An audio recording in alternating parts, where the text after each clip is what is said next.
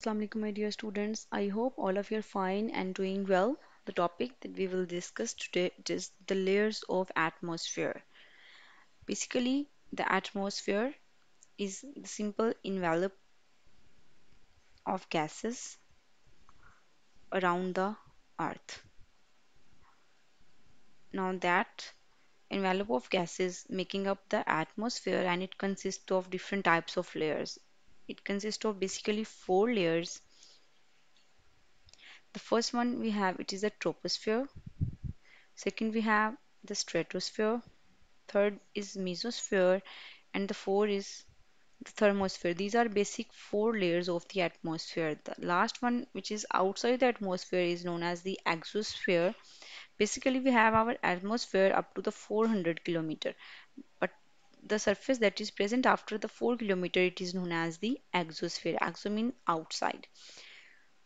So when we talk about the different conditions that are prevailing in these uh, different layers, the one thing is the concentration of the component of the gases. All the components of the gas that are present, they started to gradually decrease as we are moving upward. Which means the concentration of oxygen and all the gases will be started to decrease downward as we are moving upward from Earth's surface to the layers. On the other hand, as a result of this gradual decrease of the components, there is also decrease in the pressure of the air. But one thing, the temperature of the atmosphere does not change in this gradual way. Sometimes it may increase and sometimes it may decrease. So there is a gradual increase and decrease and it varies in a very complex way.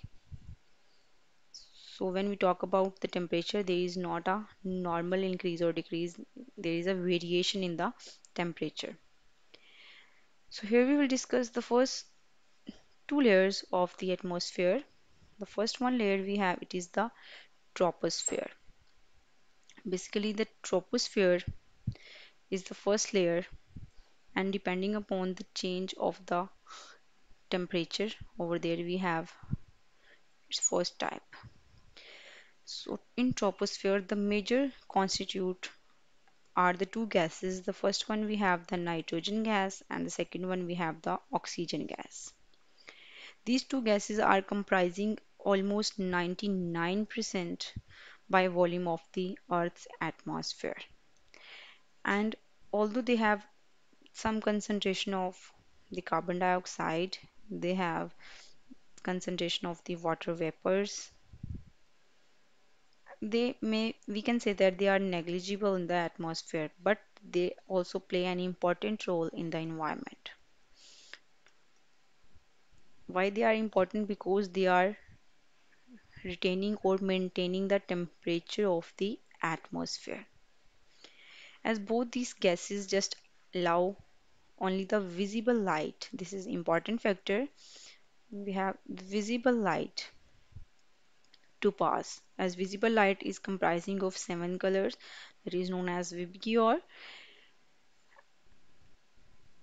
and all visible light just pass through but it absorbs the radiations that are known as IR radiations. The IR radiations are known as infrared radiations that are emitted by the earth surface. When we talk about its simple length, troposphere, it just extends from Earth's surface to the upward from 0 to 12 kilometer.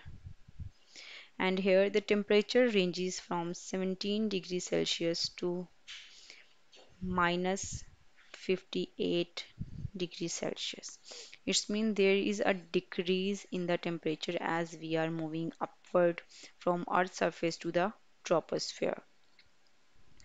On the other hand, when we talk about all other conditions of the troposphere, as we are moving upward, the concentration of the gases like nitrogen and oxygen started to decrease gradually as their height or the altitude increases. Correspondingly, we can say that there is also a decrease in the temperature due to the increase in the. So this is the sphere where the aeroplanes just fly and where the clouds are present and they help in the process of rain.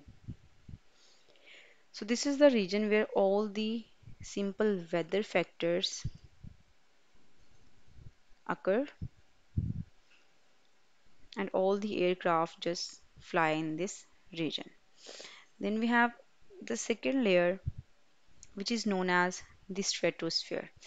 If we talk about the stratosphere, the second layer that extends from 12 to 50 kilometer after the troposphere and here the temperature range is minus 58 to 2 degrees Celsius.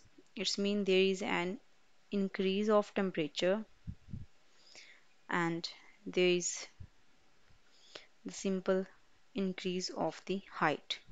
This is the stratosphere and this is the region next to the troposphere just extends up to 50 kilometer. And this is the region where the ozone layer is present. Ozone is the allotropic form of oxygen which is O3 and ozone is present in a layer form in this region and it is now responsible for the rise of temperature in this region. So here the question may be asked that why in the stratosphere there is an increase in the temperature. The simple reason the rise of temperature is just due to the ozone because it absorbs all the radiations. On the other hand, within this region, the temperature as increases as the altitude increases and the stratosphere is the layered, the temperature approximately reaches to the 2 degrees Celsius and it is a layer which absorbs high energy UV radiations from the sun and ozone absorbs all that radiations and then it breaks down that ozone into the oxygen and the atomic oxygen which is O. It is also known as the monoatomic gas. And in the mid of the stratosphere, there is less UV radiations passing through it here then the O and the O2 again combine and changes into the ozone layer. So ozone formation results in this sphere and the lower layer or the lower part of the stratosphere receives very low UV radiations